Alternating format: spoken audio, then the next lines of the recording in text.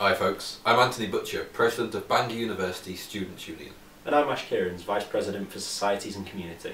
We're coming to the end of our two terms as sabbatical officers and in July we'll be leaving the Students' Union and we'll be leaving Bangor. So what's a sabbatical officer? A sabbatical officer is a student that's responsible for running your Students' Union. It's a fun, exciting and rewarding job and if you'd like to give something back I highly suggest that you get involved.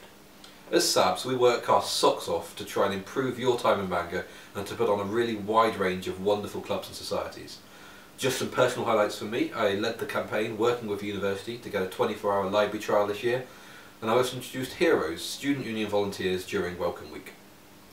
We've also seen societies funding increase by over 700%. We've seen and helped 50 new societies start over the past 18 months and we've also overseen a move for Serendipity, which is our freshers fair, from Maes Glas to Main Arts, which has helped to increase the number, the capacity available and the number of students can attend. It also saw a footfall of over 5,000 people, which is incredible.